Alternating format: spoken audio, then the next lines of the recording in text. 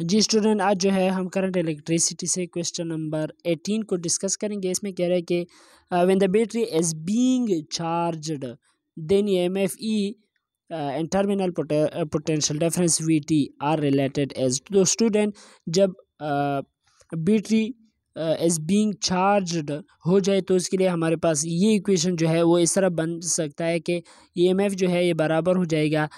Terminal potential difference minus I R, इस तरह हमारे पास ये इक्वेशन बन सकता है। ओके तो हमारे पास ये इक्वेशन इक्वेशन जो है, इस तरह बन जाता है। तो इसका मतलब ये हुआ कि जब हम टर्मिनल पोटेंशियल डिफरेंस से आई आर को रिमूव कर जाए या सब्ट्रैक्ट कर जाए, तब हमारे पास वी टी जो है वो ई एम एफ़ के बराबर होगा। It means that terminal potential difference की वैल्यू जो है ये ई एम एफ़ से ज़्यादा होगी इस केस में। तो इसलिए इसका जो करेक्ट ऑप्शन जो है हमारे पास बनता है, वो है option B terminal potential difference is greater than EMF तो स्टूडेंट अगर आपको हमारी छोटी सी वीडियो अच्छी लगी हो तो प्लीज़ हमारे चैनल को सब्सक्राइब कीजिए और बेल आइकन को प्रेस करें ताकि हमारी हर न्यू वीडियो सबसे पहले आपको पहुँच सके। देखने और सुनने का बहुत बहुत शुक्रिया।